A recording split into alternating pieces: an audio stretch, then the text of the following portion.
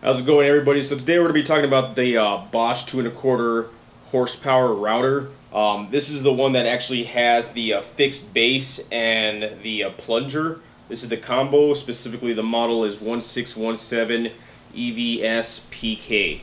So we're going to open this up and we're going to see what we have. Before we open this up, um, if you don't understand what a router really does, everything that's wood trim within your house, picture frames, um, cabinetry, uh, shelves, things that have certain designs, to the, especially to the edges, um, those are all done by routers. And these are called uh, bits right here. And what these bits do is they fit into the collets of the actual router itself. And they make all these different designs. There are so many different types of bits out there to make different designs. What you can also do is you make you make like something that's called a dado cut, and basically what it does is it joins two pieces of wood together in a more solid and cleaner finished looking you know project. Instead of just nailing or screwing two pieces of wood together you can actually fit one within within another.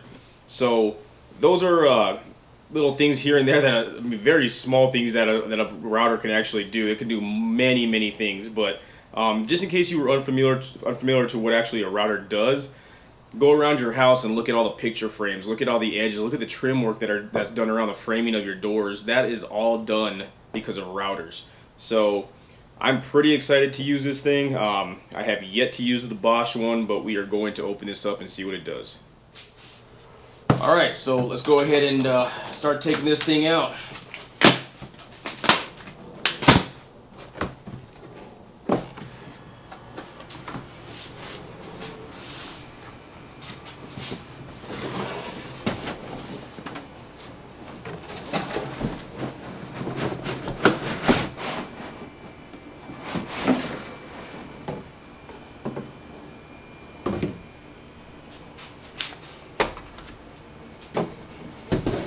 All right.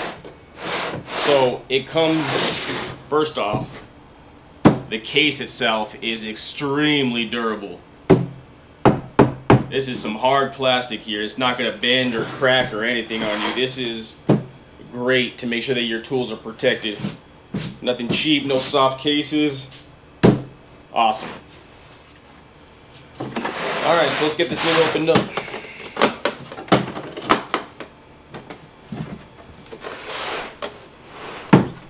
Woohoo. Alright.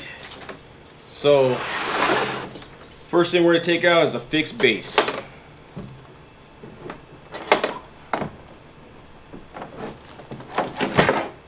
These things have some good solid weight to them. The whole base portion, the framing of it is made out of aluminum, so this thing has a little bit of weight to it, but it's going to be very durable. Alright, so let's go over the uh, fixed base one first before we go over the plunger. Fixed base comes with the wooden knobs. Very, very comfortable to hold on to. Um, you're going to have a speed adjuster here.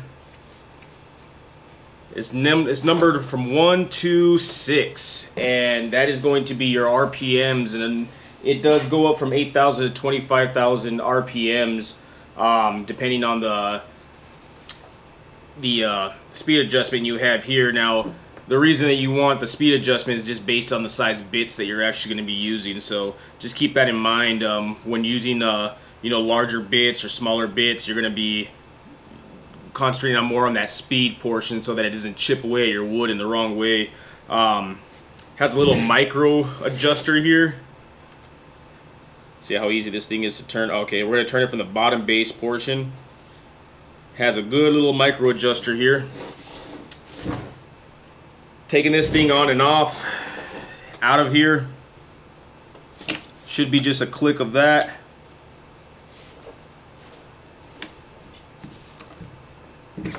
All right, so we're pushing this portion in right here to take this thing out. Got to get a little turn, a little twist, and it comes right out. You see we have our collet right here on the bottom. This is where your bits are going to go into. I believe this is a quarter inch and a half inch. Has that ability to do both of them.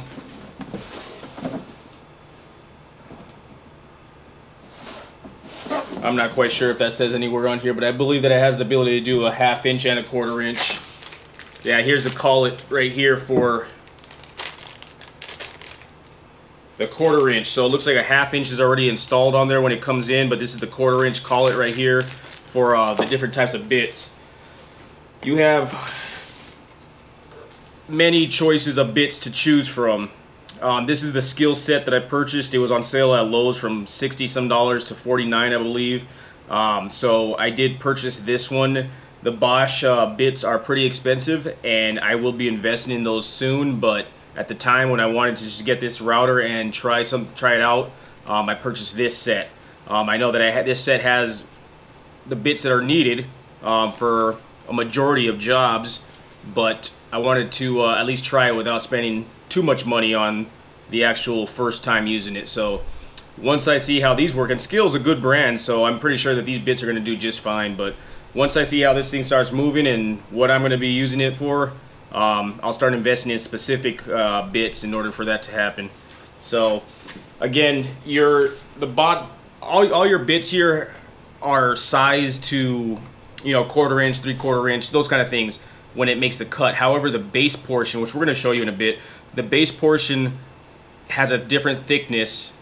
Some bits have different thick, uh, different thicker. I can't even talk. Sorry. Some bits are thicker than others, and uh, on the base portion that actually goes into the collet. So you have a quarter inch and a half inch. First off, this thing is awesome because it can accept both of them when some routers only accept a specific size. So you have to be very careful with that, especially when you're purchasing your router or purchasing the bits, um, purchase them together. If you just purchase the router, you figure it all out and you realize, okay, well, I, I can only use quarter inch bits, then that's what you're gonna have to purchase. Um, same thing goes for the half inch bits. So just keep that in mind. Um, but this set right here, you can do both of them. So it doesn't really matter what bits you buy. Comes with the other one, the, the quarter inch. Alright, so changing these actual collets out is extremely easy. It's just turning it off. Turning it till it comes off. Just be careful that when these do these things do turn and they come off, don't drop them anywhere. This is your tool and you don't want to replacing you don't have to be replacing things just because a little mistake. So here's your uh, quarter inch. This is the half inch one we just took off, and then you have your quarter inch. The quarter inch should fit just as well as the half inch. All you gotta do is turn it on like a screw.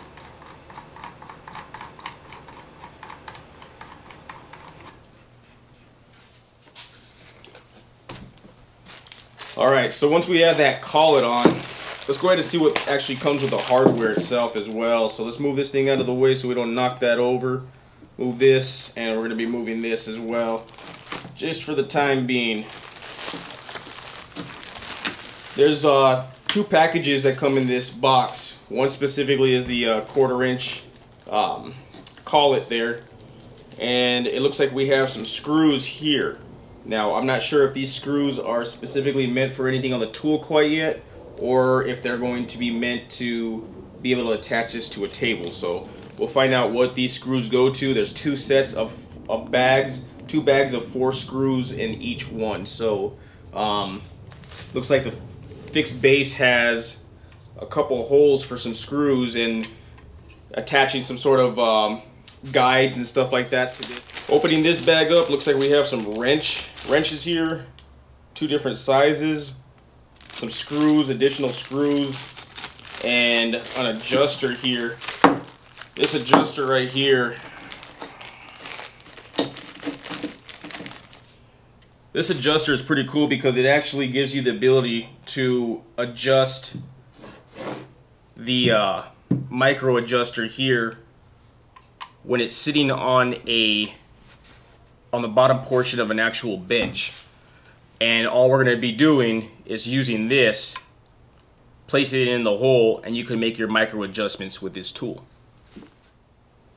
of course I don't have the uh, actual bench right now to be able to show you that, so I do apologize for that portion, but um, if you review over this stuff and then uh, your new table and things like that, it's going to be able to uh, explain how you can use that. Alright, so opening this portion up here, we have a, looks like a glass protector. I'm going to assume it's going to be for the plunge. Yeah, so it's going to be for the plunge router portion, the plunge base. We'll put that on later. Alright, so I'm going to take these collets off right now. So this is just a hand adjustment here, but when you actually put the collets on, you want to make sure one thing is that you are not tightening this just to check it out to see how it works. So basically what you're going to do is, let me put this down here. When I'm not going to do this yet because it will ruin, not ruin, but it has the ability to cause some damage to your tool if you don't do this. If, if you tighten your, your, your actual router on the collets without a bit inside of it, it has the ability to uh, ruin the actual machine itself, so the tool. So when you actually put this on,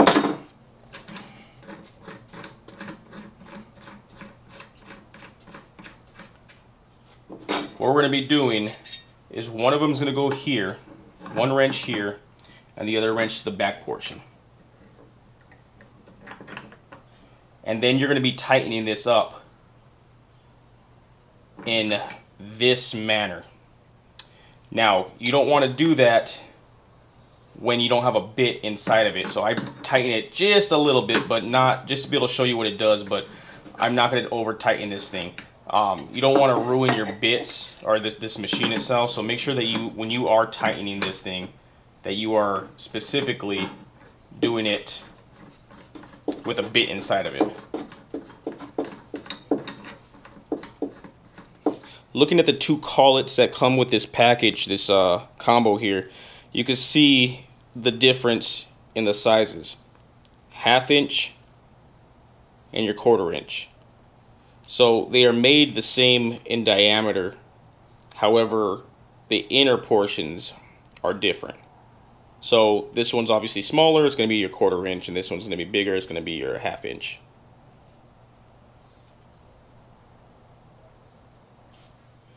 So when purchasing your bits for the router, you want to make sure that you read what it has on there. On the very top right here, it says it fits all quarter inch collets. So just remember, this is called a collet here. So this, look for the actual size that's going to be able to fit your router. This one, obviously, like I explained before, accepts both half inch and quarter inch. So we'll be just fine with these ones. Now looking at the designs that these router bits can do, you can see that it actually shows a, a picture of what each bit does. So looking at, you know, you can do some dovetails. Um, not sure if it actually shows dado cuts on this one, but there are bits that actually can do dado cuts. Um, and then you have your your edgers. So you these more bit looking as like a drill bit looking shape ones um, these are the ones going to be cutting your inner portions of your wood when you join two pieces of wood together. The more round shape ones are going to be doing your outside edges as if you're going to make a trim cut, a nice design on the edge of your actual wood. When the inner, the, the longer, more narrow bits are going to be cutting, cutting, making dado cuts or dovetails or inside of the wood in order to join your actual pieces together.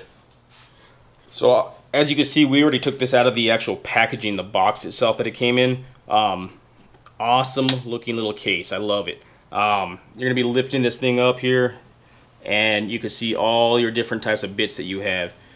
One cool function with this is that you can actually lift them this way. So if you're laying this flat on the actual table, in order to get these out, obviously you got to be able to lift that, but Try to do this without causing too much damage to the box. You can see how nice this looks and just make sure you obviously close that up before you close the case again. Alright, so let's go ahead and insert our quarter inch collet. Just like before, we're to twist this thing on, make sure it hits all the threads. All the way down to your hand can no longer tighten it. And the actual base portion starts spinning on you. Just go ahead and place your collet in. I mean your bit into your collet. Grab your two wrenches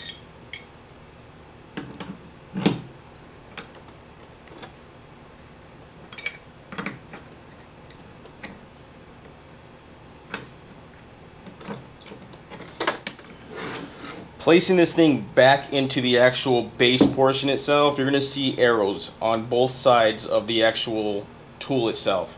There's an arrow on this side and an arrow on this side. This, these arrows have to match up specifically with this arrow when putting it in. Then you're going to do a little twist and it's going to go in.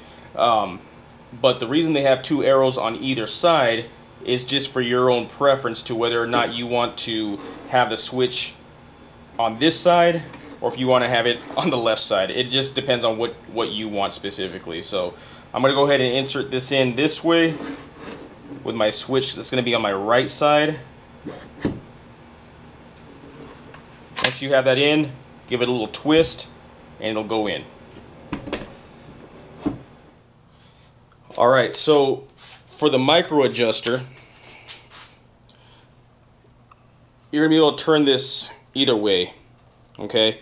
But I want you to I want to show you the bit and how it looks going up and going down. You can see with just the fine adjustments the way you can set this thing. Awesome little feature here with a small knob rather than around the base portion itself.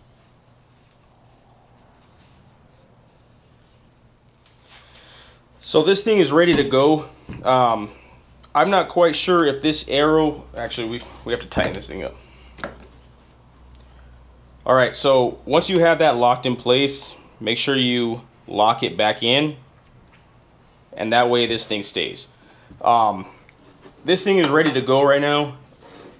One thing I wanted to explain to you, and I'm not even sure if this is what the arrow's for, but the way that the bit turns, so the bit's going to turn, if you're looking at it from the top side down to the bottom, it's going to be turning in in a, in a clockwise uh, motion. So the, there's an arrow that is placed right here on the base portion of this. I'm not sure if you guys can see that. I hope you guys can, but I'm not sure if that arrow is specifically to remind you of the way that the actual bit is going. If it is, awesome little feature that it has.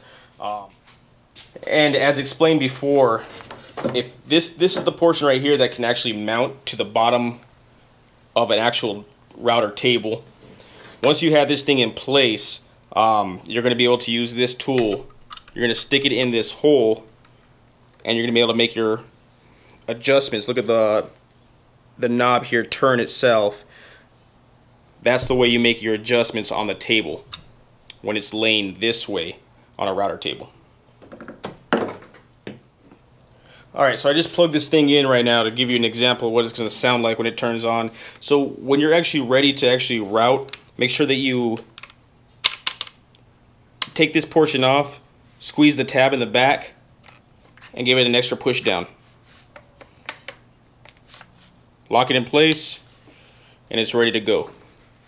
You can make your fine, your uh, fine adjustments here with this thing, um, and it's ready to go. All right, once you have this thing set up, let's see what it sounds like when you turn it on.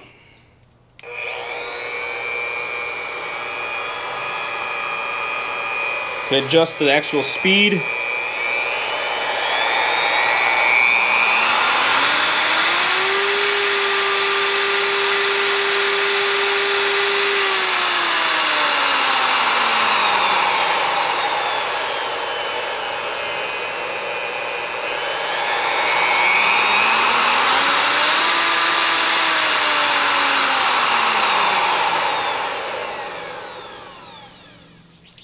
So when actually taking this thing out to fix it into the actual plunger,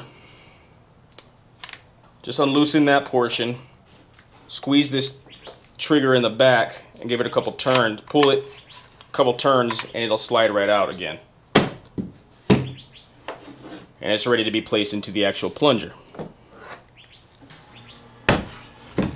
So here we have the Bosch plunger portion. The same idea when placing it in, the arrows have to meet up to whichever side you're putting them into, whichever side you want the switch on. Um, this one specifically, I would recommend that the switch be on your right side. I don't think that you're going to want the power cord this way, so just make sure that you actually have the arrows connecting together unstrap that one, place it in, and give it a couple turns until it fits in. We don't have a separate push button here for this one exactly. Lock it in place. And you can see your switches on this side. So these two Bosches are meant to be offset. That way you can have access to your actual switch when you want to plunge something, this is not the bit we're going to be using, but we have it on there right now. Um, but when you want to plunge something, you have a safety device right here, basically a lever that's going to allow this thing to go up and down. When you activate this lever, you can actually push this thing down. When you let it go, it's going to remain in the position that it was in. In order to get this thing back up, all you have to do is push the lever again, and it'll come right back up. So just make sure that when you're actually letting this thing go, that you're not just pushing the lever, it's to pop right up on you. So make sure you have a good grip on it. That way you don't ruin your tool. We also have a guide basically telling you in inches and millimeters here the um, actual depth that you want this plunge to go down. So this is an actual guide for you so then you, depending on the size wood or the size cut, the size dado cut you want to make or whatever the case is, you're going to know that once I have this thing set in place, when I go down, the plunger portion is only going to go as far as I have this set in. So make sure that you do learn how to use this portion because this is a very, very specific portion needed for dado cuts and the depth of the actual cut that you're making. So I mean, you can see that this thing easily turns. It, it, has a screw on there, which almost looks like you have to unloosen it in order to make it work, but that's not the case. The screw's set in place, and all we're having to do is turn this thing around. So just play around with it and see, uh, see how you like to actually get this thing to work for you. Also has ability to put some guides in here and stuff like that, so thing has a lot of features, and it's almost impossible to cover over everything right now, but once you purchase this, you can you can see for yourself all the different types of things this thing can do. And just to take this thing out of its actual casing itself, I'm going to do the same exact thing. Unloosen it, get a grip on it, pull it, turn it, and it comes right out.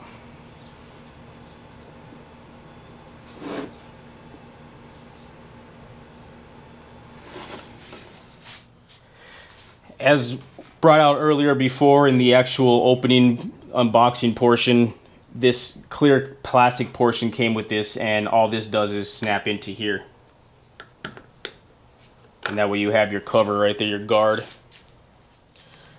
Make sure you keep all your uh, screws and all the hardware that it came with um, just based on the fact that these are going to be used for you know your guides and things like that and once you purchase your guides for this product um, you're going to be able to use these screws we could you could place these screws in now, but um, you know if you just want to keep them nice and new and don't like don't let any like dust or or wood chips or anything get inside of these screw holes. Um, just keep them in the package until you're ready to actually use them. All right, so quickly going over the actual casing portion itself, the case that it came with. Awesome case, by the way. I mean, this thing fits all your tools that are needed for this actual router. Everything has a design on it to show tell you where it goes. Um, the one thing that I did not find the design for, however, I figured it out, was the extra collet. Between the two wrenches, I was looking through all these different holes and trying to figure out whether or not it's supposed to stay in one of these areas. Um, but between the two wrenches itself, there's a little hole right here for your collet to fit in and not move. Goes a little bit left and right, but it's going to be a nice secure hole, a hold right there. So um, just make sure that you're not putting it with this side up. You don't want to damage this. So flat side up, and that way nothing can damage that. Has a place right here for uh, additional bits. Looks like this is where your three, your quarter inch uh, bits are gonna hold in here, as well as your half inch bits right here. Now, all right. So my recommendation is, if you're actually traveling with this product to go to a job site or something like that, you can put your bits into these areas, but I would recommend traveling with the cases. And the only reason I'm saying that is this case is actually built to hold these routers, router bits. Um, the reason the, these bits will last you a long time if they're taken care of. The reason that bits really get ruined is if they start hitting each other. So you want to make sure, I mean, these, these cases right here, they're proportioned well enough, they're portioned out that you can see that there's a gap between between them and they're not going to hit each other within this case. You don't want any metal type of object when you're placing your router back into the case, for instance, you don't want any type of object actually hitting this. So would I keep these in here? No. But, I mean, it's an awesome feature to have, but I wouldn't keep my router bits in this case itself. I'm going to keep them in the case that it actually came with. So within the box, from the unpackaging itself, it came with the two wrenches, which fit in this area, the extra collet, which fits in this area, your adjuster for your, your micro adjuster, see if I can get this angle. I'm not sure if you can see that with the glare or the sh the shade, but it fits right here. Let me see if I can get a, there it is right there. You can see how it fits right in that spot. And your manual instructions fit into this slot right here. And it also comes with a couple different uh, slots here that you can use when you purchase additional parts which I find pretty awesome. You can see here has the design and then the ability to fit something else right here. I find that pretty awesome because obviously this is the starter package of the actual Bosch combo. Um, but when you want to purchase additional parts and tools and hardware for this thing, this case right here is meant to actually hold those. So that's an awesome feature from, from Bosch themselves. Alright, so let's give this thing a little test run here. Make sure you have your uh, eyeglasses on. Uh,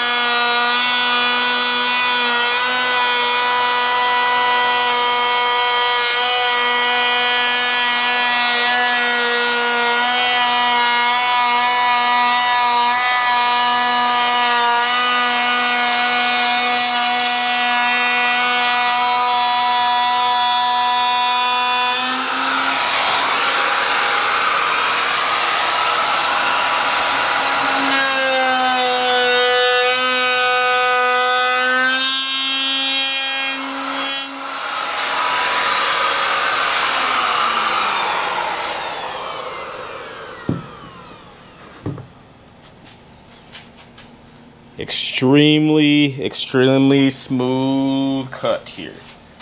Let's take a look at it. So you can see how beautiful this thing cut this out. I cannot wait to start doing some projects with this thing. Look at the design. I mean, even just this small little nothing design. I'm not gonna even lie. This is like a nothing design on here, but regardless, imagine this on the end of a coffee table, on the end of a cabinet, on the end of an entertainment center that you're building. I mean, just look at that thing. What a difference in making a design with a router rather than just slapping a piece of wood up on something and nailing it together and screwing it in and saying it's done. this is where you make your actual art. Smooth as can be. I can't wait to start doing some projects with this thing. Alright guys, and there you have it. That is the Bosch uh, combo set with the fixed base and the plunger. The uh, two and a quarter horsepower model. Um, exact model, exact model is 1617 EVS PK. Um, I recommend this product. It is nice. I mean, everything about this, there's nothing that this tool does not have or cannot do. Um, this, the way it's built, the feeling of it, everything about it just feels like you're a professional worker. Um, I do a lot of just do-it-yourself home projects, you know. Um, I can't wait to start working on this. That that one cut itself made me very excited to start some projects. So, in all honesty, you know, I would recommend this. I know that the uh, the price is up there with these things, but if you're going to invest in a router, you know, and I mean, if you need one right away and all you have is a hundred dollars on you, you know, then you're going to have to go with what you can get. But if you're actually anticipating in a good, solid workmanship, work project, you know, doing something, woodworking, save your save your money it's going to a little bit of extra time to have to save that, but save it up and purchase this model. Um, it feels great just using. Um, the uh, the router itself, it's not too too loud. I didn't even need earplugs. I mean, yes, it's you should be using earplugs when using any tor- any sort of uh, of tools um, that are powered up. But regardless, this one didn't need it. Didn't lose my hearing no buzzing in my ears, nothing. Just always make sure you're using eye protection though. You don't want any little chips of anything to get into your uh, into your eye there. But my recommendation on this tool, yes. So I'm going to be doing some projects with this thing in the next couple months. Um, please subscribe so you can see what I'm going to be working on with this thing. But hopefully this gave you, you know, an idea of what this actual tool can do and the way it's built and everything like that. So if you have any questions, I know I couldn't cover every single thing that this tool can do, but if you have any questions, please leave them in the comments below and I will try to answer them for you as soon as possible. So thank you very much and have a good one.